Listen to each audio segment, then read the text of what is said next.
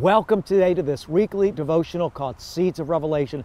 This is Rabbi Schneider. We're going to get right into it today as we go to the Gospel of John, chapter 12, verse 25. Hear the word of God. This is for you, beloved. When Jesus says this He who loves his life loses it.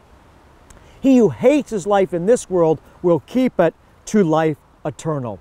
What's Jesus saying? We have to obey him we have to deny, our, deny ourselves, not loving ourselves and thus indulging ourselves in the lust of the flesh and the things of the world, but instead we hate our life, and by hating it means we reject what we want to instead love Him. And Jesus says when we do that, we're going to actually gain life. Let's listen to it again. He who loves his life loses it, and he who hates his life in this world will keep it to life eternal. I mean, I brought this up in another Seeds of Revelation not long ago, but I think it's so practical for so many of us.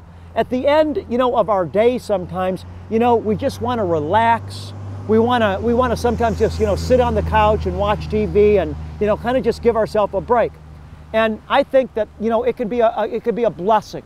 But how many times on the television station as we're looking for something to watch that would be pleasing to God or at least not be an offense to Him, something that He'd be okay with, are we tempted to watch something that we know would not bring glory to Him? You know what? Every single time, beloved, that you and I refuse to watch something on television because we know that it would dishonor God, you know what that's doing? That's losing our life for Him. And you know what's going to happen? We're going to reap, Jesus said, life eternal. So I just want to encourage you today, beloved.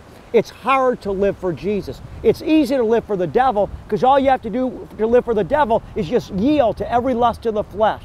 Yield to the things, beloved, that will lead your life into destruction. But to live for Jesus is to swim upstream. I want to encourage you, beloved. Without repentance, the Bible says, without holiness, no man shall see God. We must lose our lives for Jesus. We must pick up our cross and obey Him, denying ourselves. Beloved, this journey on this earth is short. It's going to be over soon. And God's got something so big for you that nothing that you ever do in this life is even comparable to the reward that's coming to you. Keep up the good fight. I love you, beloved. Hang on to Jesus and keep fighting. Shalom.